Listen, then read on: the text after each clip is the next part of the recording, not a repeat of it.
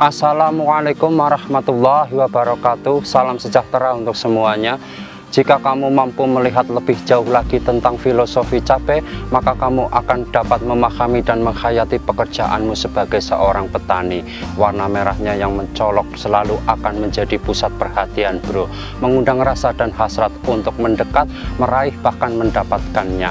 Uh, namun di balik warna merah yang menggoda menyimpan rasa yang sangat pedas, mengajarkan kepada kita bahwa untuk mendapatkan apa yang kita inginkan, sebuah perjuangan harus dilakukan sekuat tenaga. Dalam budidaya penanaman cabai pun, cabai mampu mengingatkan kepada kita bahwa warnanya yang merah mengajak kita untuk selalu menanamnya. Dan rasanya yang pedas mengingatkan kepada kita untuk selalu berhati-hati bahwa ada banyak kendala dan cobaan yang harus dihadapi serta banyak penurunan dan kenaikan harga. Maka kita harus mencari waktu yang tepat untuk menanamnya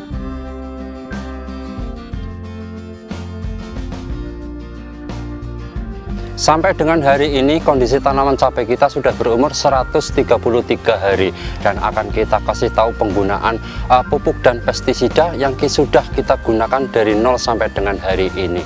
Yang pertama adalah pemupukan susulan. Pemupukan susulan yang pertama kita lakukan pada saat tanaman cabai berumur 22 hari dengan menggunakan 4 kilo NPK mesti paten biru komposisi triple 16 untuk memacu pertumbuhan tanaman. Pemupukan susulan yang kedua kita lakukan pada saat tanaman berumur 33 hari dan kondisi tanaman sudah mulai berbunga. Tujuan dari pemberian pupuk susulan ini adalah untuk memaksimalkan pertumbuhan tunas dan cabang karena tanaman sudah memasuki fase generatif. Pada pemupukan susulan yang kedua kita memakai NPK mesti paten hijau komposisi 15 10 20. Pemupukan susulan yang ketiga kita lakukan pada saat tanaman berumur 61 hari. Tujuan dari pemupukan ini adalah untuk mencegah kerontokan pada bunga yang sudah tumbuh dari tunas-tunas baru agar dapat menjadi buah.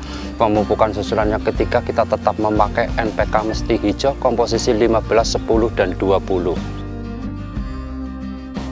Pemupukan susulan yang keempat kita lakukan pada saat tanaman cabai berumur 106 hari dengan menggunakan pupuk Abemik yang diracik antara pupuk KCL Mahkota dengan TSP 36 untuk membesarkan dan melebatkan buah. Tujuan dari edukasi ini sebenarnya adalah untuk menghemat biaya perawatan tanaman cabai karena ketika kita menggunakan pupuk yang mempunyai kandungan kalium tinggi harganya sangat mahal antara 20.000 per kilo.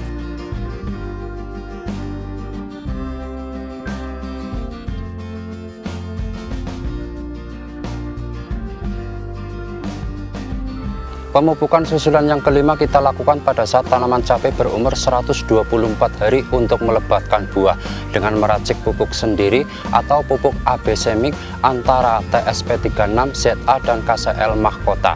Edukasi ini adalah untuk menghemat biaya perawatan cabai dan terbukti pembuatan pupuk itu mempunyai ppm yang sangat tinggi.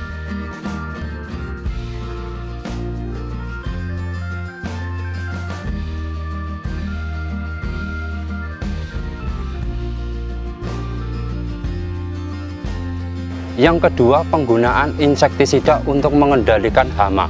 Insektisida yang pertama kita pakai adalah demolis bahan aktif abamectin pada saat tanaman cabai berumur 22 hari untuk menyembuhkan daun cabai yang keriting karena hama kutu-kutuan. Dalam tahap penyembuhan daun yang keriting kita lakukan penyemprotan satu minggu dua kali bro.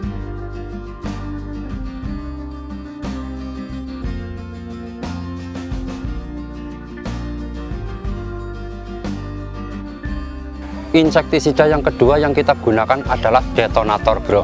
Bahan aktif buprofesin dan etovenproc untuk mengusir kutu kebul yang perkembangannya sangat banyak sekali bro.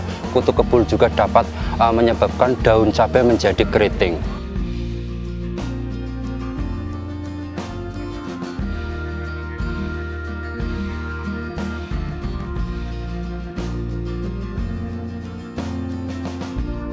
Insektisida yang ketiga adalah Cleansec bahan aktif permetrin. Insektisida ini untuk mengusir lalat buah dan membunuh ulat.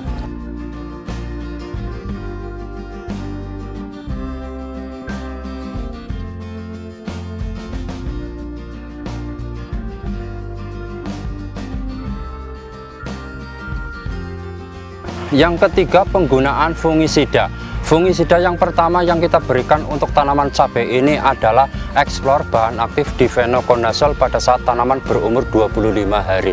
Salah satu fungisida terbaik saya bro yang mempunyai kandungan CPT untuk merangsang tumbuhnya tunas-tunas. Dari pertumbuhan tunas itu uh, akan membawa bunga dan kemudian menjadi buah.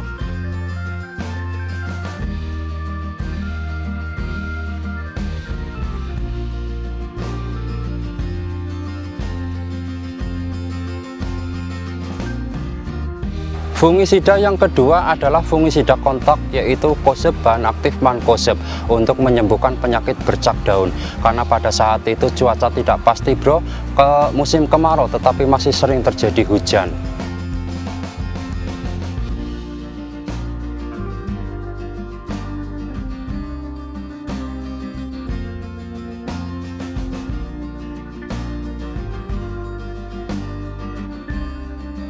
Fungisida yang ketiga adalah corona bahan aktif difenoconazole dan azithromycin.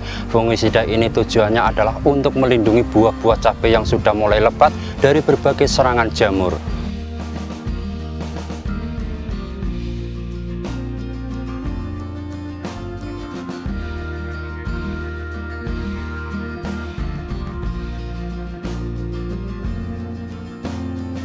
Fungisida yang keempat adalah dense, bahan aktif metil theofanat yang kita kombinasikan dengan fungisida kontak untuk mencegah penyakit antraknosa.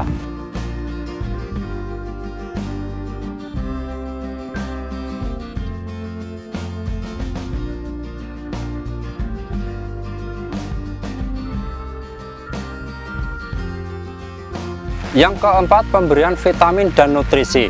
Vitamin yang pertama kita berikan pada saat tanaman cabai berumur 25 hari, yaitu Mestisol N komposisi 30, 10, dan 10. Dengan cara disemprotkan yang akan diserap oleh tanaman melalui jaringan daun untuk mempercepat pertumbuhan.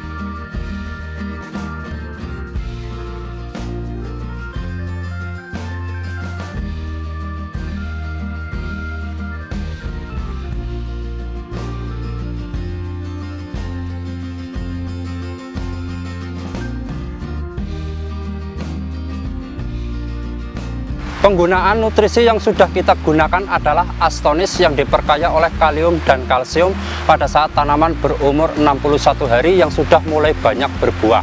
Penggunaan nutrisi ini juga untuk melindungi tanaman dari pengaruh buruk cuaca. Seperti sekarang ini bro, tadi pagi panas, sekarang hujan deras seperti ini.